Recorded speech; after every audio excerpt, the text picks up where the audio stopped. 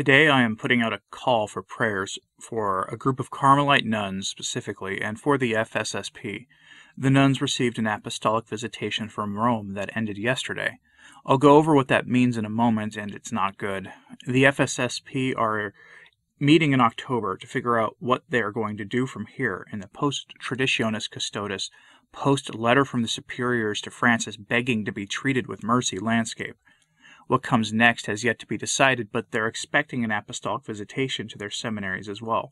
So let's go over what this all means. An apostolic visitation is when someone in a position of authority from the appropriate offices in the Vatican comes to visit your religious community, your seminary, your house of formation, or priestly fraternity for a formal visit to determine if things are being run as they should be. In this case, apostolic visitation means that the Vatican delegates are being sent to visit these traditional Carmelites and possibly the FSSP in the near future, to determine if they will be allowed to continue to operate, or to even exist as groups, or if they will be suppressed. The precedent for this is the Franciscan Friars of the Immaculate, who, while still technically in existence, received such a visit in 2013 and were then functionally annihilated for being too traditional in the eyes of Francis the Great and Inclusive One. We get this story from John Henry Weston's news site. Headline Traditional Carmelites in Pennsylvania announce apostolic visitation. The traditional Franciscan friars of the Immaculate had undergone a visitation early on in Pope Francis's papacy, with very negative effects on the order. That's putting it mildly. Since the promulgation of Traditionis Custodes in mid July of this year, rumors have swirled that the various traditional groups would receive such visitations. This is the first confirmed story we have, and their apostolic visitation ended yesterday. As of the time of this recording, there is no information available about how it went. From the article, quote, the beautiful Carmelite monastery in Fairfield, Pennsylvania, with some 25 nuns dedicated to the traditional form of the Roman Rite, have received notice that an apostolic visitation will take place September 25th to the 28th. The Carmelites have sent out a press release and are asking for prayers and vigils, since such a visitation, which includes interviews of each sister and a detailed scrutiny of their lives, is a stressful trial, in the words of the press release. The Carmel of Jesus, Mary, and Joseph is served by a hermit, Father Maximilian Mary Dean, who had earlier been a Franciscan friar of the Immaculate. The Franciscan Friars of the Immaculate, an international order dedicated to the spirituality of St. Maximilian Kolbe, had undergone a visitation early on in Pope Francis's papacy with very negative effects on the order. This is not good news, folks. Here is the full text of the Carmelite press release. Quote, this coming weekend, we ask that you pray in a special way for our nuns. More than ever before, they are in need of your love and your support. In August, they received the news that they would be subject to an apostolic visitation, and the dates have been scheduled for September 25th to the 28th, 2021. A visitation consists of interviews of each sister and a detailed scrutiny of the nun's daily life. It includes an evaluation of their application of the Carmelite charism and their monastic customs. It is for this reason we are asking for your prayerful support as they undergo this difficult and stressful trial. We pray that the nuns may quickly return to their quiet monastic observance. If you are able, would you join us for a prayer vigil at their property from 9 a.m. to 5 p.m. beginning Saturday and ending Tuesday all our friends are welcome to stop by and say a rosary or just a few prayers at the gates or in the cemetery. Your presence and support will be felt deeply by the nuns, and they will be eternally grateful. On September 29th, the chapel will reopen at 9 a.m. for a glorious solemn high mass. Mass will once again be open to the public after that date. The new orthodoxy is being enforced in the post hermeneutic of continuity landscape, and any semblance of the traditional faith will not be tolerated, full stop. This has been brought on by something very obvious, something that the powers that be in Rome do not like. Full parishes full of young, large families the typical TLM parish, and growing vocations at these monasteries and in these priestly fraternities. It is something they don't like to see, not because most of them want a tiny church, but because of the Novus Ordo parishes are slowly emptying themselves, and statistically, the bulk of them are. While traditional parishes are growing and more calls for traditional parishes are coming from the laity, then the writing in the West is on the wall. The transformation of the Church at Vatican II and after into an instrument of the secular world is at stake. They know this, too. Hence their hostility to all things traditional. Please keep these nuns in your prayers. It is not too late to say a rosary for their intentions. There have been rumors for some time about the possibility of such an apostolic visitation happening to the FSSP as well. A letter was recently sent out to parishioners at one parish in America where the priest answers questions from the worried laity. I suspect the sentiment he expresses here are echoed not by not an insignificant number of the FSSP clergy. Here is the full text of that FSSP priest's letter. Quote, I have been asked more than once about whether we should pursue another project, given the hostility of not just the Pope, but many prelates, clergy, religious, and laity to the Vetus Ordo. Could the Pope just suppress the FSSP? Yes, and if he did, the Bishop of Providence would be left trying to provide for your needs, which, be a, which would be a daunting task for him. The worst case scenario would be that we are ordered to leave the diocese and the parish would be closed. Could this happen? Yes. If it did, I've already made up my mind what I'm not going to do. I won't go independent. I've seen way too much schism in that department. Nor will I join the SSPX, as if they'd have me.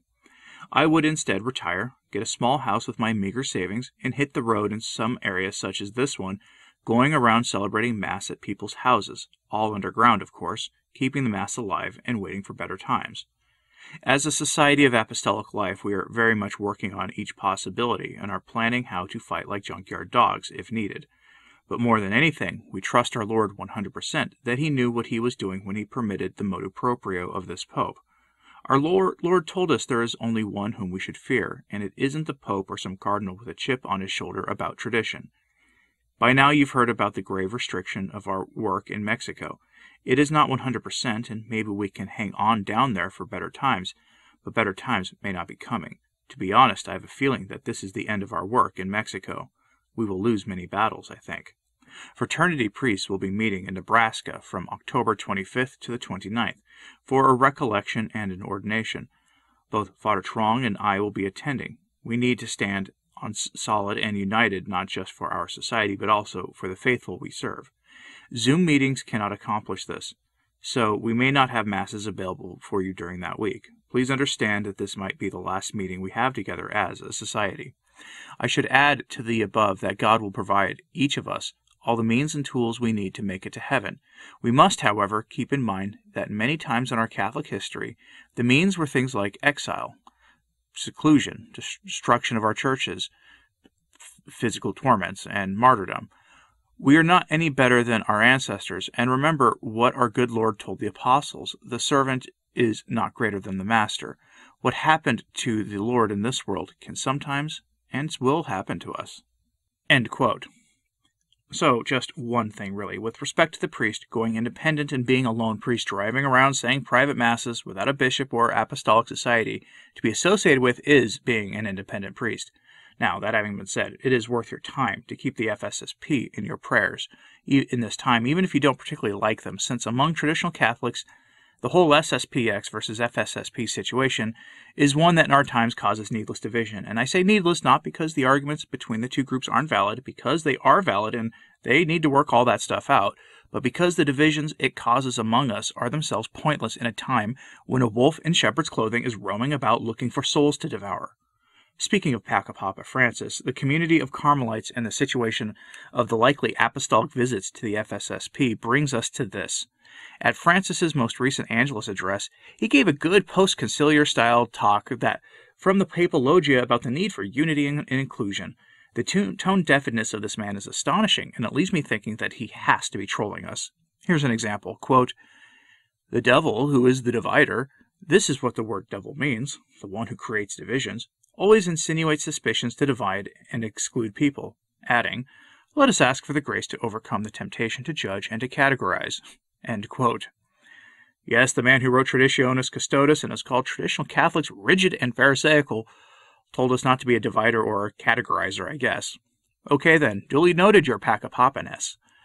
As Brother Martin Navarro of the Oblates of St. Augustine said in response to this on Twitter, quote, Traditionis Custodes literally forbids the TLM from being offered in parish churches. Cardinal Cupich literally locked the doors of the TLM parish for the sacred Triduum. End quote.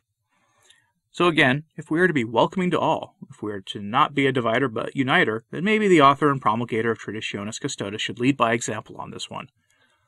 But he was leading by example in a weird way, because in his non Catholic universalism, Francis had this to say that day as well, quote, I appeal to all men and women to journey together towards an ever broader we, to renew the human family, to build together a future of justice and peace, to ensure that no one is left out. Some hashtag, even though people don't really use them anymore. And he also said, Today, the church is called to go out to the streets of the existential peripheries to heal the wounded and seek the lost, without prejudices or fear, without proselytism, but ready to expand her tent to welcome everyone in an ever larger we. End quote. An ever larger we, that is a weird phrase. But I have a novel idea. The traditional way that Catholics welcomed everyone into an ever larger we was to preach the gospel, to baptize those who, were, not baptized, to bring into the church those lost sheep that our Lord commanded the apostles to bring into the church. How about we start with that? Aside from the fact that in the quote he said not to proselytize, so I may guess not, but I only included what the Papa had to say in this because I want you to compare and contrast in your hearts this priest that I just quoted his letter from, the nuns from the start of this, and Francis, and then ask yourself this question Who among them cares for me and your salvation? My money is on the nuns and on the priest, but it could just be me. Will you pray for these nuns and for the FSSP? My only concern here is this there's still a myopic vision pervasive among traditional Catholics that we, despite our differences, are apparently still not all in the same boat at this point. This goes beyond uniting the clans, as the saying goes, for my main issue with that slogan is that it is very restrictive and exclusive to certain priests. We across the board need to be working together to make sure when our priests go independent, they have their needs met so they can say masses privately for the faithful, so they can offer the sacraments during these increasingly chaotic times. So please be prepared to help these priests out in any way that you can. A time is probably coming when the traditional liturgy will only be available in formal parish settings from the SSPX in many places, and illicitly from newly independent priests in homes, barns, and malls and other strange places like it used to be in the 1970s. So be thinking and praying about how you can help them if you are able. Those are my thoughts on this. What are yours? Let me know in the comments, please, and like and subscribe if you haven't. It really does help. As always, pray for the church. I'm Anthony Stine. Ave Maria.